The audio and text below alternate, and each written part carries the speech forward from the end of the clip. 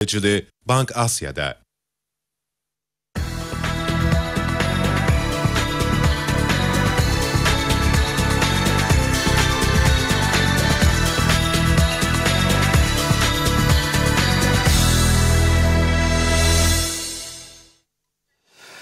Günaydın sevgili seyirciler. Paranın rotasında yeni bir haftaya başlıyoruz ve bugün 18 Kasım 2013 Pazartesi.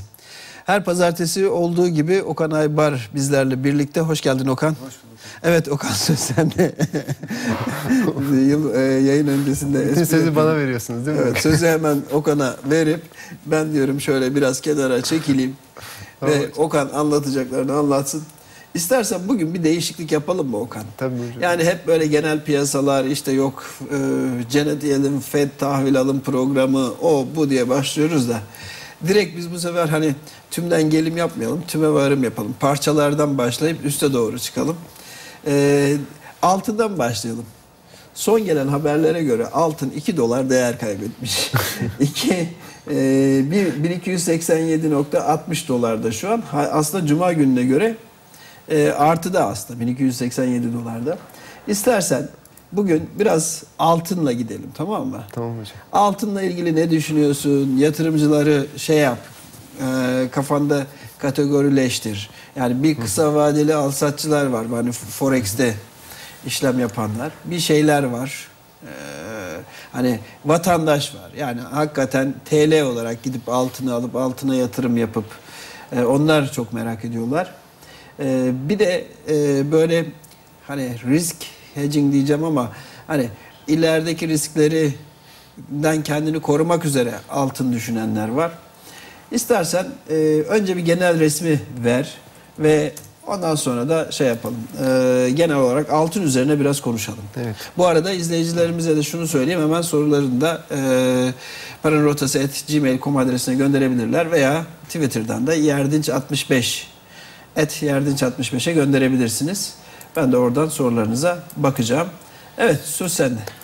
Altın fiyatları e, genellikle faizler güdümünde hareket eden bir e, enstrüman. O yüzden e, son günlerde e, faizlerdeki hareketlere bakarsak e, her ne kadar faizlerle ilgili beklentiler e, yukarı yönde olsa da e, son birkaç gün içerisinde bir miktar bir geri çekimi oldu. Özellikle dolar doların 10 yıllıklarında ve e, sterlin e, faizlerinde, euro faizlerinde e, çoğunda gerileme oldu.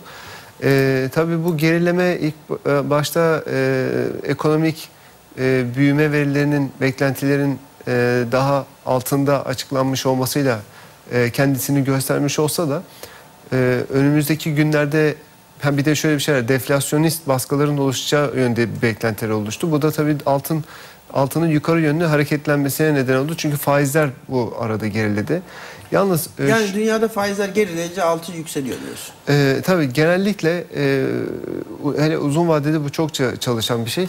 Deflasyonist veriler olmasına rağmen e, veya deflasyonist beklentiler e, ağır basmasına rağmen altın fiyatlarında e, bir miktar e, yükseliş olabilir. Çünkü şeye bağlı olarak yani faizlerdeki düşüşlere ba- e, bağlı olarak olabilir. Zaten bugüne kadar altının yani mesela e, o 1100 dolarlardan başlayıp 1900 do- dolarlara kadar götüren e, hikaye altının hikayesi faizlerin uzun vadeli faizlerin e, düşmesinden kaynaklandı. Hatırlıyorsunuz twist operasyonları yapılmıştı. Kısa vadelerle uzun vadeliler değiştirilmişti. Swap yap, takas yapılmıştı.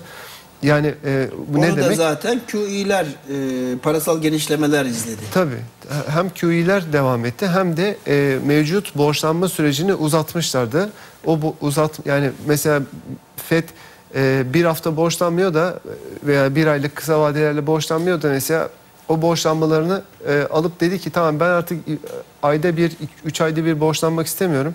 E, ben bir kere de 5 5 yıllığına borçlanıp hani e, uzun bir süre e, piyasaya para vermiş bir şekilde, e, para arzını arttırmış bir şekilde e, piyasaya katılacağım e, demişti. Bu neden yani bu neye e, neden oldu? Altın fiyatlarının o hızlı yükselişini tetikleyen asıl faktörlerden bir tanesi zaten buydu. Dolayısıyla e, altın şu anda hala e, faizler güdümünde hareket eden bir enstrüman. O yüzden e, son günlerde her ne kadar yükseliş olsa da e, birkaç 2-3 günlük süreçte e, oluşan geri çekilme e, beraberinde altın fiyatlarının en azından düşüşlerini e, bir miktar engelledi. Yani o 1200 1300'ün altına kaymıştı ya. Evet. O 1300'ün altına kaydıktan sonra e, te- bir miktar daha geri 1160'a kadar düştü en fazla. Ha, bu ben daha geçen haftadan bahsediyorum. Ha, gene- geçen hafta geçen- 1300'ün evet. altına e, düştükten sonra 1280 civarında şu anda dengelenmiş. E, hatta 1270'lerde de devamlı destek e, alıcı geliyor ve e, o seviyelerde tutunmaya çalışıyor. Neden? Çünkü altının son birkaç gün içerisindeki düşüşünden kaynaklı. Şimdi kısa vadeli yatırımcılar için e, öncelikle onu söyleyeyim. Kısa vadeli yatırımcılar için e, bu faizlerin düşüşü önümüzdeki günlerde bir miktar daha devam edebilir. Çünkü e, birinci nedeni hisse senedi piyasalarında bir geri çekilme olabilir. O beraberinde faizlerin düşüşünü tetikleyebilir. E, diğer taraftan biliyorsunuz geçen hafta e, hem FED'den hem de e, Avrupa Merkez Bankası'ndan deflasyonist baskıların oluşabileceği yönünde söylentiler vardı. Ben bunlara inanmıyorum ama piyasa bunları fiyatlayacak olduğundan dolayı e, hem faizlerde hem de yani enflasyon baskı beklentilerine bağlı olarak hem e, hem de hisse senetlerinde olası bir geri çekilmeye bağlı olarak faizlerde bir geri çekilme olabilir. O da altın fiyatlarını kısa vadede özellikle e, haftalık ve günlük olarak e, desteklenmesine neden olabilir. Şimdi istersen grafiğe bir bakalım. Grafiği verelim bir. Ve grafikte e, dikkat edersen bu 1160 1170 seviyesine kadar düştüğü yer burası. Bu Haziran ayında. Bu da Fed Başkanı Bernanke'nin konuşması. Ondan sonra 1420'lere geliyor. Oradan geri çekilmeye başlıyor. Ve en sonunda bu 1250'yi destek yaparak şu an 1280 seviyesine geliyor. Şu resim içerisinde senin kafandaki senaryoya göre yani bu önümüzdeki 3 ay nasıl gider? 3 ay, 6 ay nasıl gider? Bir kere şöyle söyleyeyim. bin, e, 1350-1400 arasına yine geleceğiz. Yani şu, hatta bir o zaman aya onu gerek bile yok. çizelim. Bir saniye gösterelim onu. Tabii. Yani 1300 burası ve 1400 de şurası. Evet. Yani şurası da 1400. Şu aralığa yeniden geleceğiz diyorsun sen. Yani yükselecek altın diyorsun. 1300 yok hocam 1350 bin 1400 aralığına. Ha pardon 1350'yi yukarı çekelim şöyle o zaman. 1350'ye kadar gelsin. Tamam yani şuradan şöyle 1350 burası. Evet. Dolayısıyla şu aralığa kadar diyorsun. Altında o zaman senin söylediğine göre şöyle bir şey mi bekliyoruz? Ee, e, senin e, ama argümanın şey yani Faiz. altın buradan böyle gelecek. Genel olarak faizler düşecek. Şu aralığa gelecek diyorsun Evet. dolar bazında. Evet. Faizlerin düşmesini de şeye bağlıyorsun. Bir miktar deflasyonist söylemler başladı. Yani e, ekonomilerin yavaşlayacağına ilişkin bu faizleri aşağı çeker. Bu da e, e, altını yukarı çeker. Evet. Şimdi hocam şöyle enteresan bir şey var. Şimdi e, ben açıkçası e, Avrupa Merkez Bankası'nın ve e, Fed'in deflasyon e, sözünden bahsetmesine şaşırdım. Çünkü e, hala mal fiyatları yüksek. Mal, mal fiyatları yüksek, e, para arzı hala yükselmeye devam ederken nasıl oluyor da e, deflasyonist Ama baskılardan? enflasyon çok kötü geldi ya Evet. Avrupa'da. E, e, Yani enflasyon ciddi anlamda çok kötü geldi. Evet. Yani fiyatlar düşüyor sürekli. Hani enflasyon fiyatların şişmesi, deflasyon da fiyatların İ- inmesi. sönmesi, inmesi. İnmesi anlamına geliyor. Ama şimdi şöyle bir şey var. Yani bu ortamda e, deflasyonist bir yani deflasyon olabilmesi için fiyatların dediğiniz gibi düşmesi lazım. Ama fiyatların düşmesine neden olabilecek bir ortam yok. Tam tersine fiyatların belki daha yavaş yükselmesine neden olacak bir ortam var ama deflasyona neden, olabilecek bir ortam yok. Bu nedenle bu açıdan bakıldığında e, hani deflasyon belki söylenmemesi gereken Ama geçen hafta, geçen ay şey Avrupa Merkez Bankası'nın faiz indirmesinin ana sebebi de buydu zaten. Enflasyon oranı eksi 0.3 falan geldi. Evet. Düştü yani fiyatlar. Evet ama şunu söylemek istiyorum. Şimdi e, hem e, para arzı artmaya devam ederken şimdi şöyle şimdi merkez bankaları e, söylemlerini 3 3 haftalık 5 haftalık duruma göre değil hani en azından 3-5 aylık duruma göre aylık süreçte bakarlar. O, o açıdan bakıldığında e, şimdi o zaman merkez bankaları şunu mu söylüyor Avrupa Merkez Bankası ben önümüzdeki e, süreçte mal fiyatlarının düşeceğini e, belki de hatta bu arada euronun e, değer kazanacağını bu açıdan bakıldığın zaman e, Avrupa'da euro bazında mal girişlerinin fiyatlarının düşeceğini e, söylüyor olması lazım ki E, daha geçen hafta mesela e, Çin e, e, 10 yıllık ekonomik reform paketini açıkladı.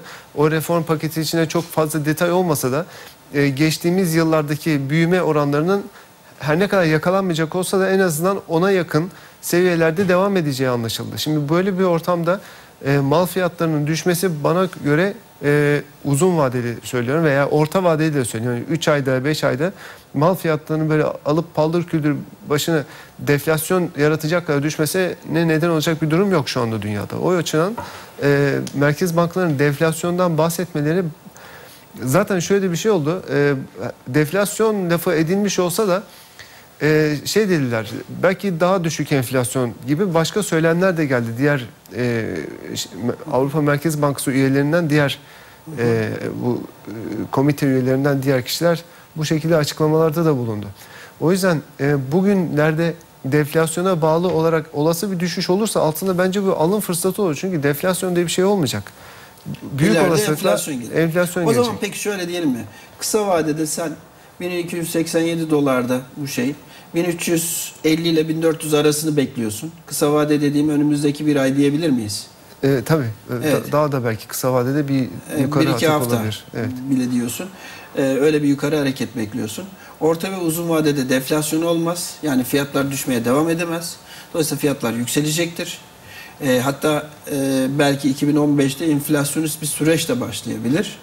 Tabii. Bu da altını aslında eğer faizler yükselmemişse negatif faiz yükseliyor demektir. Yani Tabii. negatif faiz e, artıyor demektir. O da altını destekleyici bir nokta olabilir ama ben hala şu an genel olarak altının e, önümüzdeki bir 3-5 ay boyunca 6 ay boyunca genelde bu 1250 ile 1400 aralığında kalacağını düşünüyorum. Evet. 80 liranın altı TL bazında konuştuğumuzda altında alım için uygun seviye. Kesinlikle hocam. Evet. 88-90'ın üzerine çıktığı zaman da satış için uygun seviye olarak aynen, düşünüyorum. Aynen, yani. Altını böylece bitirelim.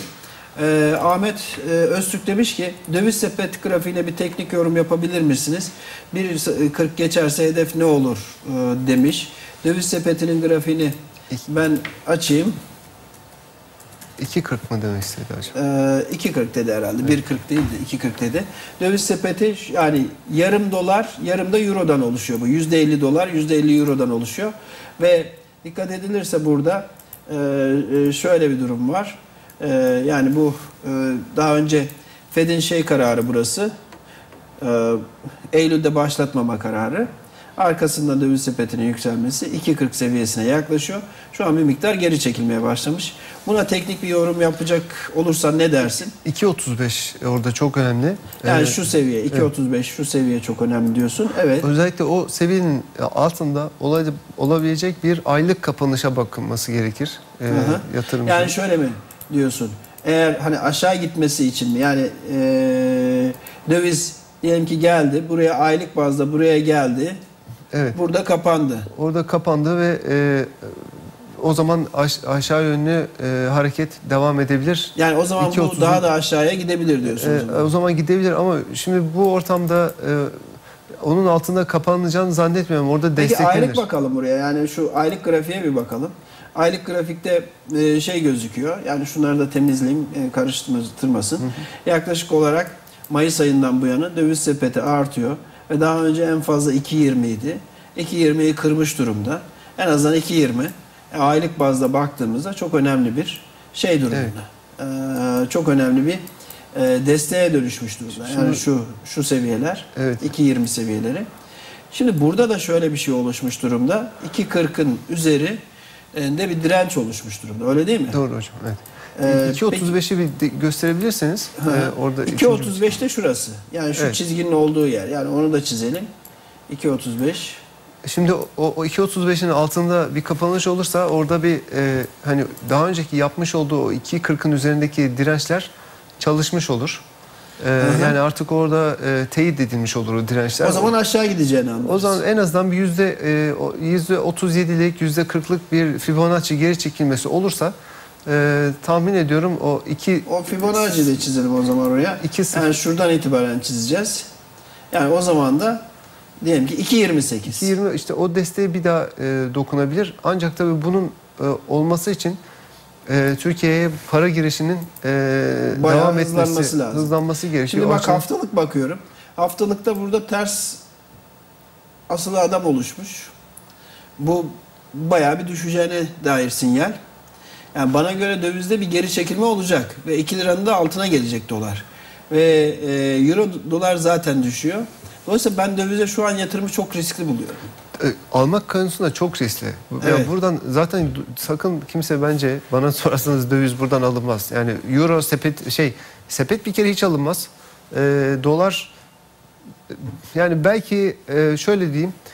e, euro satılır, dolar belki tutulur. Çünkü e, euro dolar paritesinin de düşme ihtimali olduğu için bu aralar e, hani o belki doların düşüşünü biraz yavaşlatır ama zaten bu açıdan bakıldığı zaman dolar Türk lirasının e, hani bazında söylemek gerekirse 1.98'lere 1.97'ye gelme ihtimali yüksek ama e, onun da çok daha altına gelebileceğini özellikle yıl sonu O zaman genel sanmıyorum. resmi şöyle söyleyelim. Dövizde genel olarak şu an teknik de şeyi gösteriyor. Yani haftalık grafiklerde bir miktar geri çekilme olabileceğini gösteriyor dövizde. Yani TL bir miktar değer kazanabilir ki bu da şu anki havaya uygun bir e, şey.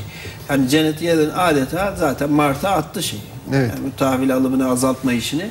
E, dolayısıyla şu an piyasalar bununla şey yapıyor. Bugün Murat Uçar da şeyi sormuş. JP Morgan bu sabah biliyorsun Türk hisseleri için önerisini e, arttırdan e, tuta çevir, nötre çevirdi. Yani e, normalde ben şaşırıyorum. Yani tam böyle gelişmekte olan ülkelere gene para gidecek. Tam bu sırada JP Morgan nötre çeviriyor. Rusya ile switch ediyoruz diyor. Aynen, yani Rusya'yı evet. niye switch ediyor onu da çok anlamış değilim. Yani Rusya petrol fiyatları mı çok artıyor bu sırada? Petrol fiyatları düşmedi ki zaten hocam. O 90 dolarla 110 dolar arasındaki e, bir bir şişiklik vardı orada. İran'la Amerika arasındaki e, sürtüşmeden kaynaklı. E, dikkat ederseniz 90 altına da çok gelemiyor. O yüzden e, hani Rusya bak yani Rusya özelinde konuşursak ve petrolü ilişkilendirirsek e, doğru yani Rus Rus tabii ki Türkiye'nin şöyle bir şey var. E, Türkiye'nin senaryosu kalmadı. Yani şu an Türkiye'de O zaman e, döviz e, niye aşağı gitsin Okan? Hocam şu, şu an hala çünkü dışarıdan para girişi devam ediyor. E, E, tamam o zaman gidiyorsa o zaman hisseleri niye aşağı? Yani dolar aşağı gitmesi demek borsanın dolar bazında zaten hiç artmasa bile yükselmesi demek. Yani dövizin aşağı gitmesi demek. Zaten borsa olduğu yerde dursa e, şey yapıyor. Değer kazanıyor demektir. Şimdi şundan kaynaklı hocam. e, Türkiye'ye e, dışarıdan nereden geldiği belli olmayan para girişi hala devam ediyor.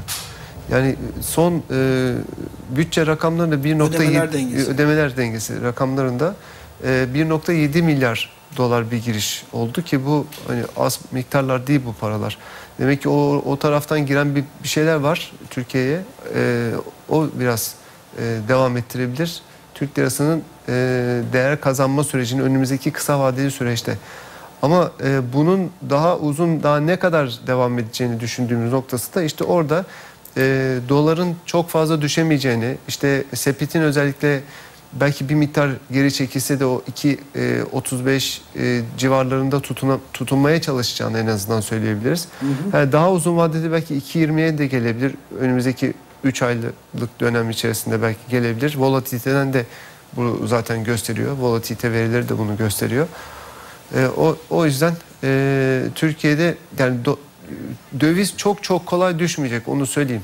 Yani döviz Döviz- tamam aşağı yönlü çok fazla istekli olmayacak ama Ama yukarı da gidemeyecek. E, Yani burada bir sıkışma meydana gelecek Doğru. tamam. Ee, Ben hatta biraz daha şeyim yani biraz daha dövizde 2 liranın altına mesela pek gelmez deniliyor ama e, şartlar değişebilir. Yani şartlar şu an olumluya doğru gidiyor genel olarak. Türkiye için yani. Türkiye için değil yani küresel olarak baktığım zaman yani Janet Yellen'in konuşmasında çok net olay yani. Yani burada o hemen çok güçlü bir ekonomik toparlanmayı görmeden kolay kolay çıkmamak lazım diyor. Yoksa diyor erken olur diyor. Tabii. Yani bu Mart bile olmayabilir. Yani ben Aralık Ocak artık beklemiyorum zaten şeyi. Fed'in Evet. tahvil azaltımını. Zaten Ocak'ta şey olacak. Cumhuriyetçilerle demokratların gene bir kavgası olacak. Yani onun öncesinde de azaldı ve Bernanke artık karar vermeyecek. Tamamıyla iş Janet Yellen'e kaldı bu şeyden sonra. Oradan dolayı o dediğiniz yani bu Ocak ayındaki bu bü- bütçeyle ilgili e, bir tartışmalardan kaynaklı e, zaten dolarda uluslararası piyasalarda bir düşüş olabilir. Zaten e, ona bağlı olarak e, bu 1.97'leri Ya ben şundan korkuyorum. Ve Herkes şey demeye başladı.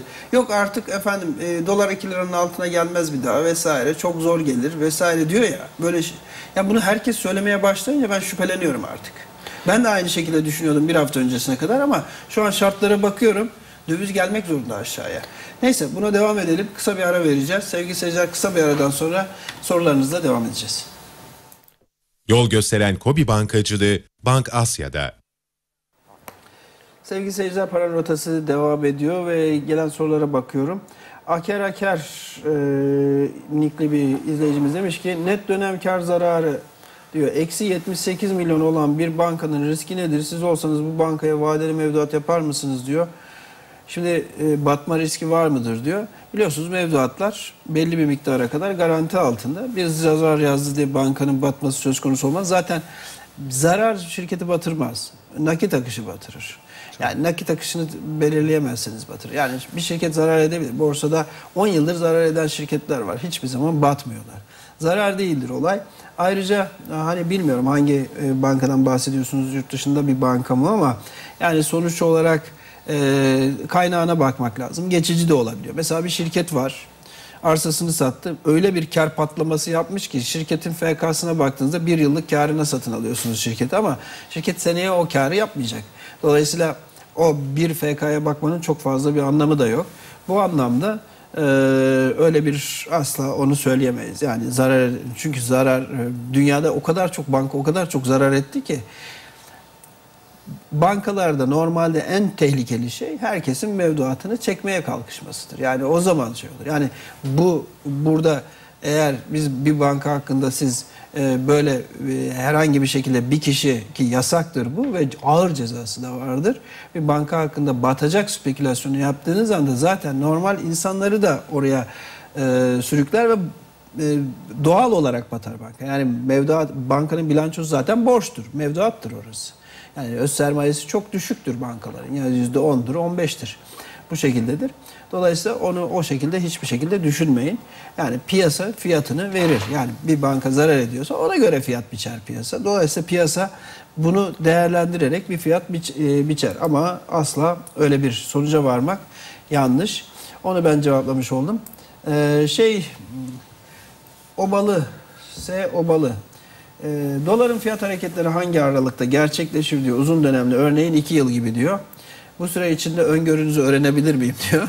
İki yıl. Ben bir gün ne yaptım biliyor musun Okan? Öğrencilere dedim ki dersin adı finansal piyasalarda tahmin teknikleri. Tamam mı? Herkes dedim. Yani ders e, şey e, haftada bir gün yapıyoruz. Yarın sabah saat 8.30'da ne yapıyor olacağını yazsın. Ben şunu yapıyor olacağım. Ben şunu yapıyor olacağım. Herkes yazdı. Herkes imzalasın, getirsin bana yapıyor olacağım. Ben kağıtların hepsini tek tek imzaladım. Yani başka kağıt getirmesinler diye söyledikleri şeyin altına. Sonra dedim ki tam saat 8.30'da ne yaptığınızı yazın. Tamam mı? Gittiler. Yüzde sekseni tutturamadı. Ne yapacağını. Mesela o sırada işte otobüste geliyor olacağım okula demiş. Uyanamadım, saat çalmadı, gelmedim. Şimdi bu kadar dünyanın değiştiği bir ortamda iki yıl gibi bir süre içerisinde öngörü vermek demek zaten uçmak demek. Yani iki yıllık bir öngörüye imkan yok yani. Böyle bir şey yapmamız mümkün değil. Yani burada bir piyasalar kaotiktir. Ufacık bir olay bir anda dövizin 2.80'e 3'e bile gitmesine sebep olabilir. Ben krizleri çok iyi inceleyen birisi olarak Asya'da, Malezya'da 2.50, 2.60'dan kur kaça çıktı biliyor musunuz? 2.40, 2.60 aralığında. 4.80'e çıktı. Yani şimdi düşünün ki dolar 2 liradan 4 liraya çıkıyor. O oldu orada. Bu olmaz diyemezsin ki. O sebep ne? Asya'da bir tane Tayland'da bir banka sendikasyon kredisini ödeyemedi. 400 milyon dolarlık. Bunun üzerine Tayland'da anormal bir Satış. Herkes hücum etti. Ee, Bütün ellerindeki varlıkları satmaya başladılar. Paralarını kurtarmaya çalıştılar Avrupa, Amerikalı bankalar. Bu bütün ülkelere yayıldı. Malezya çok güçlü giderken bir anda alt üst oldu. O yüzden böyle bir uzun vadeli tahmin veremeyiz. Hangi aralık derseniz bu aralıkları şöyle düşünün. Benim vereceğim aralık 1.95'te 2.07'dir. Bu aralıktan çıktığı anda kafamdaki senaryo değişmiştir. Yani 2.07'nin üzerine gittiği an yeni bir senaryo vardır. Veya 1.95'in altına düşerse de yeni bir senaryo vardır. Ama en verebileceğim aralık şu an bu aralıktır. Önümüzdeki 2 yıl değil 8 yıl içinde bu aralığı verebilirim. Ama buraları kırarsa o zaman tekrar beni dinleyin. Yeni senaryomuz ne onu anlatırım. Evet olay bu. Senin ekleyeceğin bir şey var mı? Doğru söylüyorsunuz. Yani mesela e, 1.97'nin altına gelebilmesi için e, Merkez Bankası'nın ekstra bir bir e, iş yapması lazım. Bir hareket Ben o yapması 1.95'i de niye veriyorum biliyor musun? Bazen hani biliyorsun ayı tuzakları oluşuyor. Evet. Hani ayı tuzakları oluşuyor. Yani piyasa bazen çok abartabiliyor iyi bir şeyi veya kötü bir şeyi de çok abartabiliyor.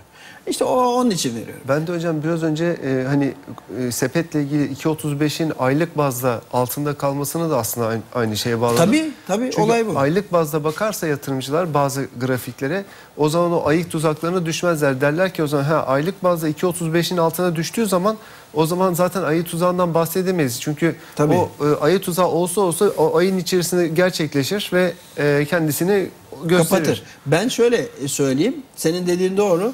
Sizin yapacağınız şey kendinize alternatif stratejileri belirlemek. Siz şu soruya cevap vereceksiniz. Dolar mı almak istiyorsunuz? 1.97'ye geldiği andan itibaren almaya başlayın. Satmak mı istiyorsunuz? 2.04, 0.5, 0.6 civarında satın. Ama şunu söyleyin sana. 2.08'i geçerse yeniden alacağım deyin. Yani strateji belirleyin. B planınız, C planınız olsun. Bunu demezseniz fiyatlar sizinle oyun oyun oynar. Resmen dalga geçer. Öyle hareketler yapar ki çok kötü yerde aldırır, çok kötü yerde sattırır. İllüze olursunuz. Fiyatlar sizi illüzyon gibi illüze eder. Hep yanlış hareket yaptırır. Dolayısıyla piyasaya bakıp da hareket eden insanların %99'u kaybeder. Piyasanın dışında verdiğiniz kararlar size kazandırır. Bunu da böyle şey yapalım. Ee, Kaşif Yılmaz bir hissenin FK oranıyla piyasa değeri, defter değeri değeri doğru orantılı mıdır diyor. F- FK oranıyla FK oranıyla PDD oranı. Diyor. Ben Piyasa istersen defter- kısaca ben bildiğimi söyleyeyim. Sen de eklemen varsa e, şöyle yap. FK demek bir şirkete karının kaç katını ödüyorsunuz demektir.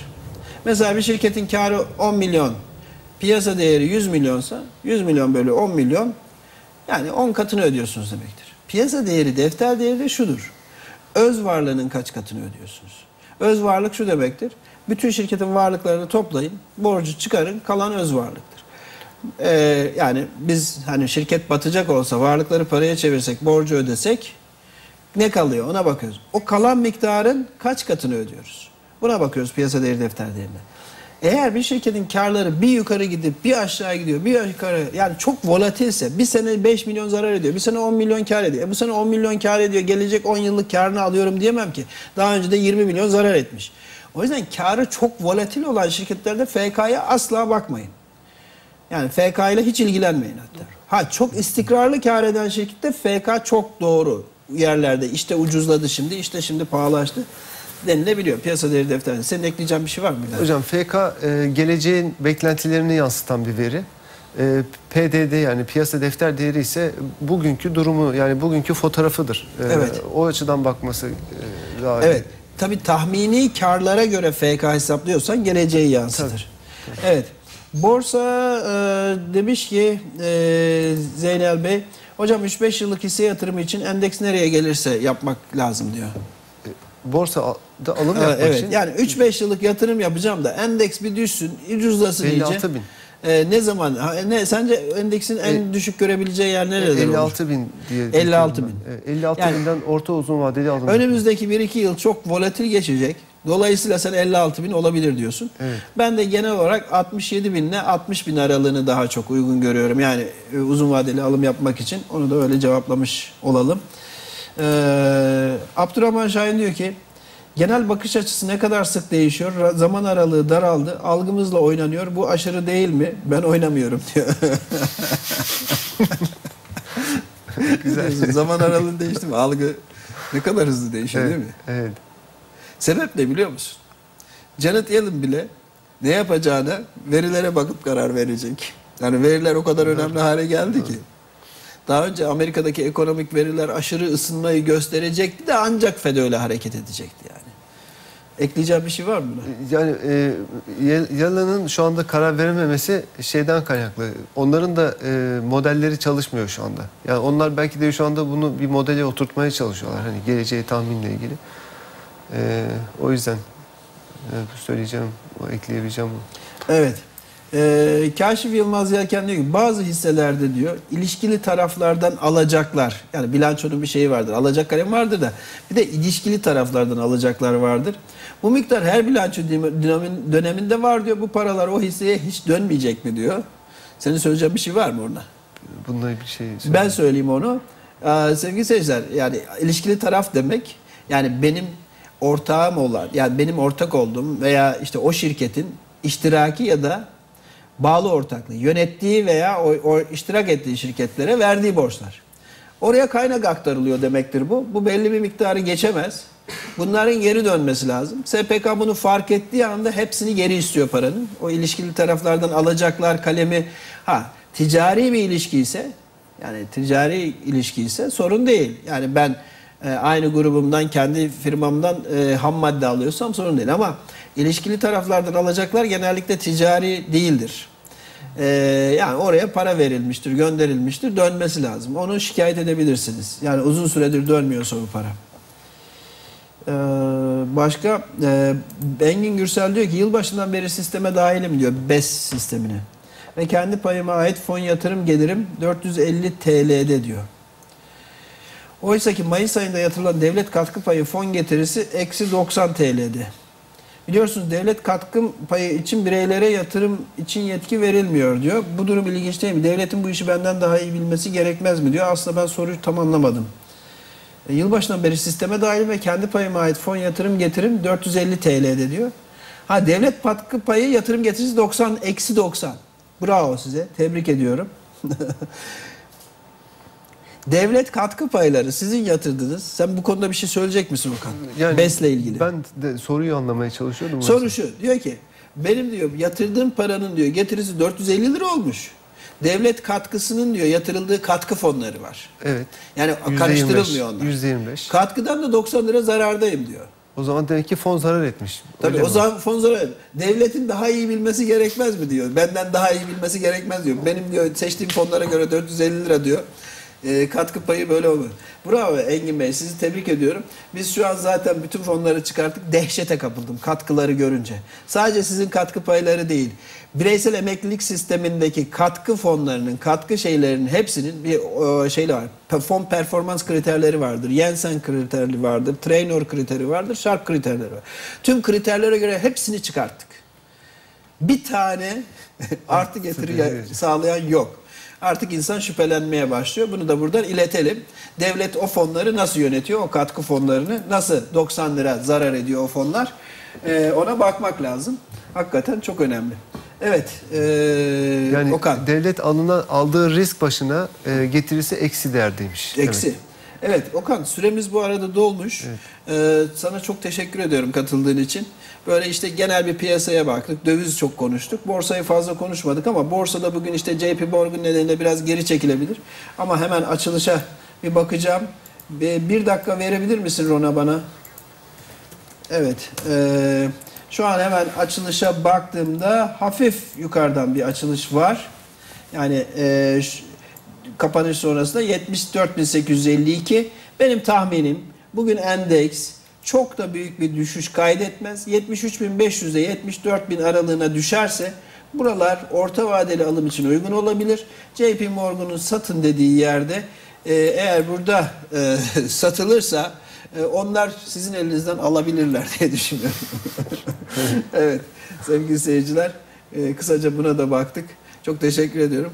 Sizlerin de sorularınız ve bizim programımıza gösterdiğiniz ilgi için çok teşekkür ediyorum. Yarın sabah kıdem tazminatını konuşacağız. Kıdem tazminatında neler oluyor ve e, kıdem tazminatı değişirse sizleri nasıl etkileyecek? Tüm bu konuyu ayıracağız. Piyasaları çok kısa geçeceğim. Hemen bakıp geçeceğim ama kıdem tazminatı neler olup bittiğini merak ediyorsanız yarın birlikte olalım. Hoşçakalın, sağlıkla kalın.